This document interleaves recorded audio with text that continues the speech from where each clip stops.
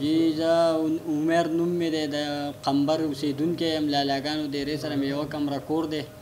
او په دی یخ کوی سره به می له فروټو کار کاو د غټی اډی سره دی خوا دنډونو قلا په دی لاره کی الله پاک پاک ګزاره چلوله لنډین روان و د بچو روزی می روانه وه انورو سیچو به دغلته ناکابندی ته ولاړو جی او هره ورځ به امونه او خټکی به زمانه اغستل خو ما به وی زه پریدوه دانه دوه دانی دی ای به زه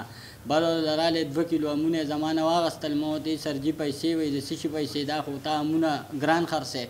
او ما ورته وی جی مه په دې کې خو زموږ له شل روپۍ په دې کې مه دونه څه نشته وی چې نه ته خو په دې کې چرس خرڅه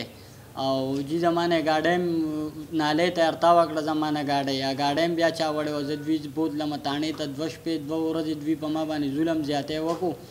د هغې نه پس بیا دوی زه ولیږلم جی جیل ته ماته ویل ته ډیلر یی او ما پسی سیر چرس ولیکل جی زه یی بی ګناه ولیږلم جیل ته بیا زما کوم مشر ورور وو هغه موټر سیکل خرڅ کو زه یی په هغی باندی ماله پردی ضمانت په پندره هزار روپی ونیو وکیل له پندره هزار روپی ورکړی زه یی بیا را ازاد کړم اوس چی ما په کوم ځای کی ایس ایچ او صاحب وینی جی او دی ما په هر ځای کی تنګی په عذابی می او ما ته ما ورسره اوس پیسې دي ست هزار تین سو پچاس روپۍ دي ورسره جي زه چي پسې اوس لاړ شم ما ته وایي چي ته په چا پسې ځې لاړ شه ما ورته وایي زه به میډیا وال ته ووایم جي چي میډیا وال ته نه چي چا ته وایې ووایه نو جي ما ته انصاف پکار دی زه غریب یم دا مي بچي دي د خدای تعالی عجز غریب انسان یم او د ما نه یې پروټ وه ګاډۍ هر څه مالې شپېته اویا زره روپۍ تاوان راکړو جي او لکه زما سره یې ظلم زیاتی وکړو وس زما دا درخواست دی جی زما د ملک مشرانو ته زما دا درخواست دی عمران خان ته زما دا درخواست دی جی چی اونګه وی چی اونګ انصاف په راولو جی انصاف کم دی زونګ خو په خپل ملک کی لوټ کیږو غر کیږو وس په ما د منډی واله پیسی دی په ما پسی روزانه راځی ما ته ور ډبی زه په ده پسی لاړ شم دی ما وکنځی بی عزته می کی واپس می د تاڼی نه راوباسی نو ما ته دی انصاف پکار دی زه عمران خان ته دا درخواست کوم جی دا غریبی عجزی دغه ورته کوم چې ما ته دې زما انصاف مېلاو شي. دا دې اونګ ووټ د دې لپاره ورکړی دی چې اونګ ته د انصاف په عمل کې مېلاو شي. نو هغو جي په یوه تنخا کې څلور تنخاګانې هغوي جي د غریب نه نورې پیدا کوي. دا انور خان ایسچو نومې دی جي امیر صاحب دی غټه غټه ږیره ده سپینه ږیره ده جي رحیم آباد په تاڼه کې دی جي انور خان نومې دی. زما مطالبات دې ومنل شي. زه دې غریب عجز سړی یم دا مې بچي دي جي تاسو یی نه.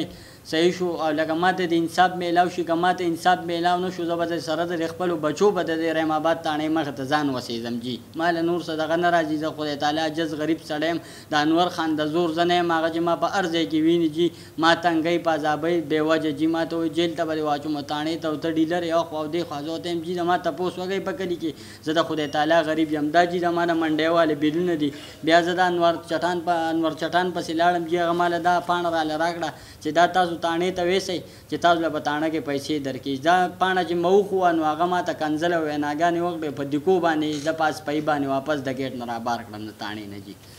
وس تاسو سه انصاف تاسو ته یی جی ماته انصاف ته میلاو شی زما دی بچو ته دی انصاف میلاو شی ماته دی انصاف میلاو شی. کنه ماله نور څه لار نه راځي جي زه به ځان وسېزم دا خپله غريبي مې ده او د دې غريبۍ نه مې دا انور خان وباسي جي لکه دا غريبانان تنګينو او ظلم وايدونه مه کوه يو خان پکې تنګ که چې مونږ ستا ومنو چې يره ته مسلمان يې او ته د الله د يرې نه تا ږيره پرېښودې او ته د الله د يرې نه مونځ اودس کوې نو ته خو په غريب سړي باندې ښه انتشار ورته جوړوې او خرابوې او لکه ذليله کوې دا زما دا بچي دي دا اوس کله زما د مور کره کله زما د نيا کره کرايه واله کور واله زما ورته تاله والې ده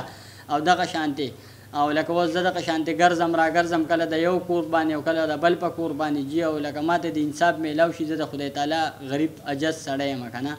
نو لکه دونه ظلم دی نه کوي لکه دی دل الله پاک وردی ورکړه دل الله پاک پاور طاقت ورکو نو دی دی په غریبانانو نه استعمالي دی دی غریب سړی سره هیلپ کوي نو دی دا هیلپ باوجود دی را لګي جی او لکه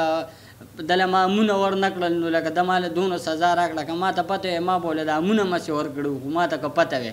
ماته دونه پته نه وه جی دوی ده ما سره وال ټکول وکړه دوی ده ما سره دونه زیاتیات وکړل نو لکه جی دا خو دونه ظلم نه وی پکار مونږ خو په دی ملک کی اوسیږو ده دی ملک بچی یو مسلمانان یو کافران نه یو ده بل ملک نه راغلی یو او لکه دوی زمونږ سره دا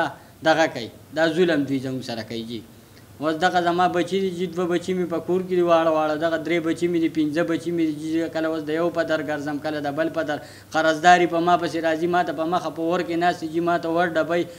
او لکه مات په عذابوي تنګوي مي نو جي لکه زه دوی له اوس دا پيسې دا قرضې دا پيسې دوی له زه د کوم ځای نه وګورم جي او لکه انور خان ته دی دا دغه وشی جی جی لکه دا ظلم زیاتی دی دا کوپارتوب دی دی لکه پریدی جی ولی مونږ غریبانان الله پاک پیدا کړی او که دی خان الله پاک پیدا کړی نو مونږ هم غریبانان الله پاک پیدا کړی او زمونږ هم د تپوس په سو کی چی د دنه به مشران وکی تپوس